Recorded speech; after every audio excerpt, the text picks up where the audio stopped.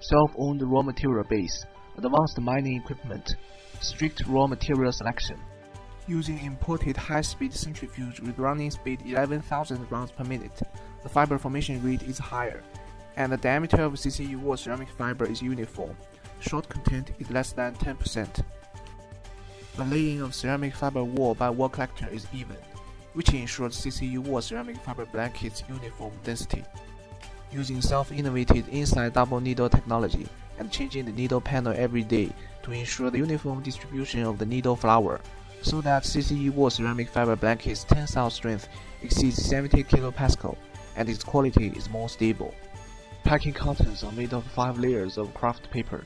Inside cotton is plastic film to prevent moisture, suitable for long-distance transportation. Wall insulation fiber, high efficiency energy saving solutions for furnaces.